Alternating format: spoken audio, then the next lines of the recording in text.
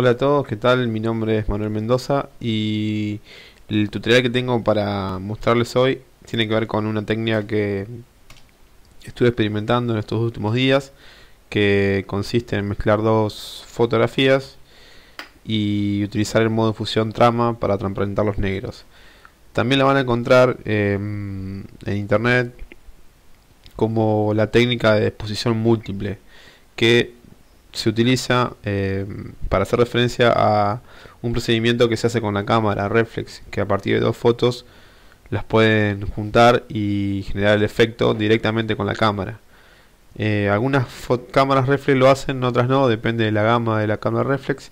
En mi caso yo lo que hice fue hacerlo todo desde Photoshop. Estuve probando algunas cosas con con imágenes que tenían que ver con la naturaleza y bueno, salió salió esto que es lo que les estoy mostrando ahora en pantalla.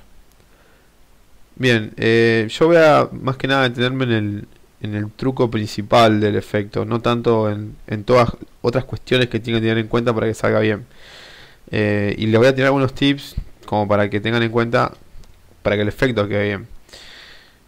Eh, el truco del efecto, por así decirlo, está en el modo de fusión.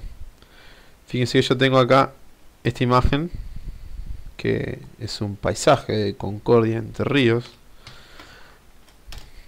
que lo que mm, lo que tiene, bueno, tengo dos, una imagen que está espejada, o sea, rotada. Recuerden que para rotar pueden hacer control T, ¿sí?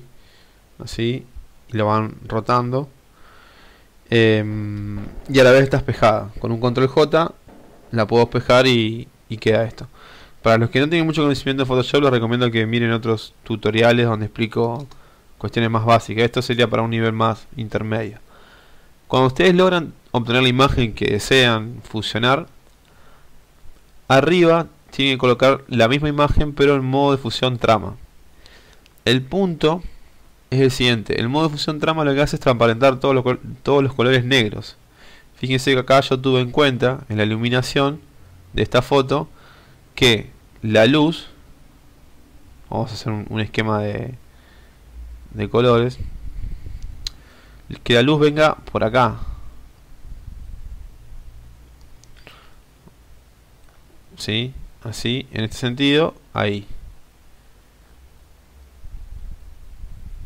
Ahí toda, toda la luz que me da acá genera de alguna manera después a la vuelta sombras. Todo esto que está acá son sombras. Ahí y ahí. Y a la vez tuve en cuenta que la prenda sea una remera negra. Eso no es casualidad.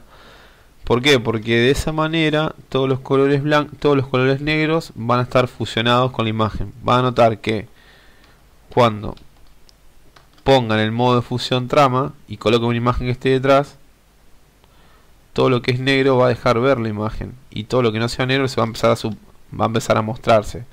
Por ejemplo, toda esta parte de acá, que es la, la parte de la piel, no se llega a desvanecer del todo. En cambio, todo lo que es negro sí se desvanece.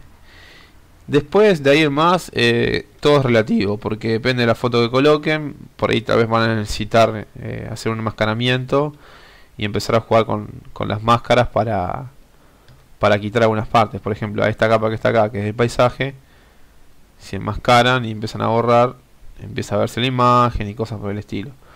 Pero yo no voy a andar sobre eso, más que nada el tutorial era contarles cuál es el truco principal. Después cada uno de ustedes experimenta con la foto que quiera. Lo que sí van a tener que tener en cuenta es que seguramente van a querer quitar algunas partes de lo que están funcionando y puedo utilizar hacer una máscara de capa y empezar a borrar en algunas partes para que el efecto no se produzca en todo, en todo el retrato. Y otra cosa que tienen que tener muy en cuenta para que les quede bien es el tema de los fondos blancos. Este fondo de acá tiene que ser lo más blanco posible, eh, plenamente blanco.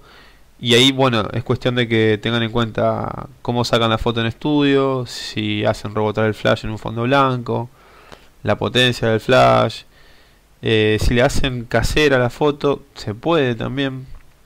Tanto en un caso como en otro, muchas veces no se logra el, blanco pleno. Entonces en ese caso pueden recurrir a la opción de imagen, ajustes, niveles y van con el gotero blanco picando para que levante los niveles. Eso en otros tutoriales van a poder encontrar. También pueden hacer una selección programa de colores del fondo y aplicar una capa de ajuste de curvas. Así que ahí tienen algunos tips como tener en cuenta eh, el criterio, más que nada. El criterio es poder encontrar una, iluminación que tenga ese esquema y en base a ese esquema les va a quedar ese efecto. Em, en otros casos también lo mismo, fíjense que acá, en este caso, yo te aparenté todo lo que era la, remera. Em, también depende de la foto que coloquen, por ejemplo, justo esta foto acá tenía como un cielo blanco, entonces ya el cielo blanco está dentro de la, del enmascaramiento. Acá utilicé dos guantes negros para que las toda la fusión se haga también en las manos.